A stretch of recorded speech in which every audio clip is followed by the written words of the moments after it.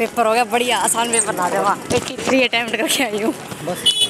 Reasoning का एक question छोड़ा है इंग्लिश के सारे कर दिए। मैथ के सत्रह अटैम्प्ट करे हैं जीके के भी सत्रह अटैम्प्ट करे हैं। अच्छा। हाँ। और जीके के क्वेश्चन बताए जीके के आसान आसान क्वेश्चन आ थे जिस तरह भाई लाटे वो साइमन कमीशन के विरोध में किस नेता की मृत्यु हुई थी? और ये मदन मोहन मालवीय ने कौन से नारे को प्रसिद्ध किया था? ठीक है हैजा किसके कारण होता है?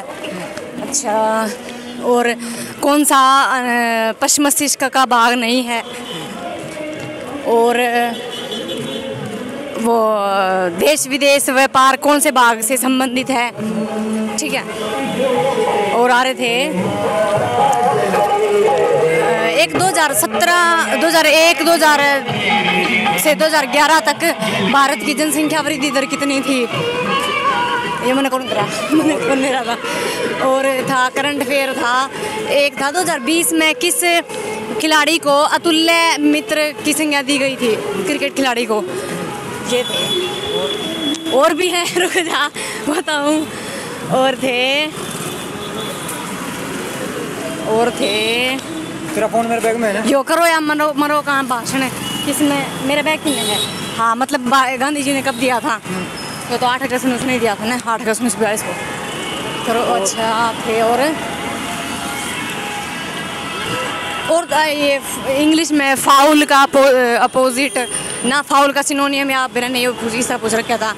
ठीक है क्लीन का एंटोनियम ये इस तरह पूछ पूछा था आसान आसान था इंग्लिश का भी।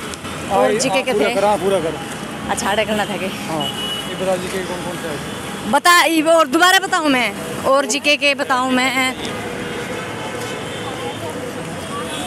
और था। हाँ एक वो लिख रखा था? मध इसमें मध्य प्रदेश में कौन सा बाँध है? और एक और कोई महल था? तिरुवनंतपुरम में कौन सा महल है? अवध किसान सभा की स्थापना कब की गई थी? ये क्वेश्चन थे जीके के। ठीक है। हो गए पूरे पच्चीस मतलब और के बता। बस। और के? तो हेलो फ्रेंड्स हम चल रहे हैं अभी मेट्रो स्टेशन सविता विहार पर जाएँगे उसके बाद घर जाएँगे। और हमारे साथ है बहुत सारे स्टूडेंट पीछे आप देख लो। आगे भी देख लो। जल्दी जल्दी चाल बस।